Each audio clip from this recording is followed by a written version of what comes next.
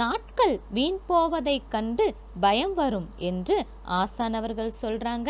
வாங்க என்ன சொல்றாங்கன்னு கேட்கலாம். இன்னொரு இடத்துல சொல்லுவான் வரும் முன்னர் காவாதான் வாழ்க்கை எரி முன்னர் வைத்திரு போல கட்டும் வரும் முன்னர் காவாதான் வாழ்க்கை.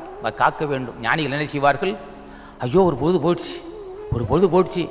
எமனை வந்துடுவான்? எமனை வந்துடுவான்? நம்ம அதுக்குள்ளே முன்னேற வேண்டும். நாளை கண்டு பயப்படுவார் நாள் போயிடுச்சு மரணம் வந்துடும் மரணம் வந்துடும் சொல்லுவான். இவன் எப்படி இருப்பான்னா அவன் நாள் போக போக பயப்படுவான்.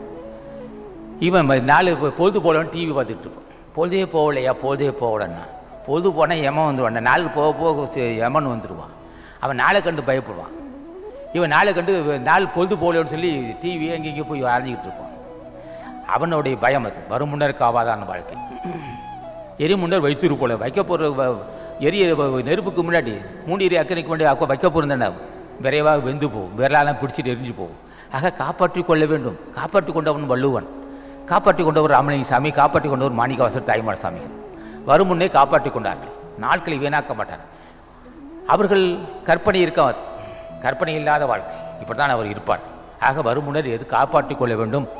இளமை இருக்கும்போதே துடிப்பு இருக்கும்போதே நோய் இல்லாத போதே வறுமை இல்லாத போதே பிரச்சனை வராத போதே நம்ம நற்காரியத்தை செய்து கொள்ள வேண்டும்.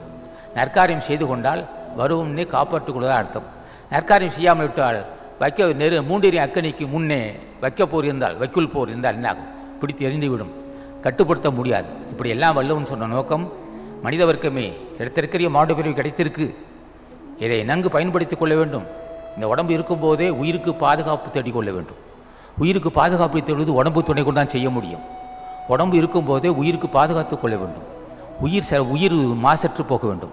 உடல் மாசு நீங்காமல் உயிர் மாசு நீங்காது. ஆக உடல் மாசினுங்கிறதுக்கு ஒன்று பக்தி ஒன்று புண்ணியம். பக்தி புண்ணியம் என்றால் முன் செய்த பாவம் தீரும். பக்தி புண்ணியம் இருந்தால் கொடுமையான எண்ணங்கள் தீரும் குற்றங்கள் தீரும். பக்தியும் புண்ணியம் இருந்தால் உடம்பை பற்றி அறிந்து கொள்ள முடியும். பக்தியும் புண்ணியம் என்றால் உடம்பு மாசு நீங்குது. உடல் மாசு நீங்கினால் உயிர் மாசு நீங்கிவிடும். உயிர் மாசு நீங்கிவிட்டால் மரணமில்லா பெருவாழ் வரணும் ஆகவே குற்றம் கடிதல் என்ற அதிகாரத்திற்கு ஏதோ என்னுடைய அறிவிக்கப்பட்டபடி என்னுடைய நான் போதிய கல்வி இல்லாதவன்.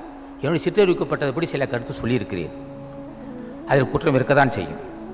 கற்று வந்த பெரியோர்களும் தாய்மார்களும் பொறுத்து கொள்ள வேண்டும் என்று திருவடி வணங்கி முடிக்கிறேன் வணக்கம்.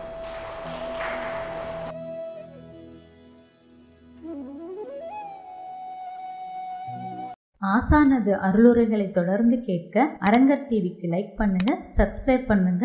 மறக்காம பெல் பட்டனையும் கிளிக் பண்ணுங்க.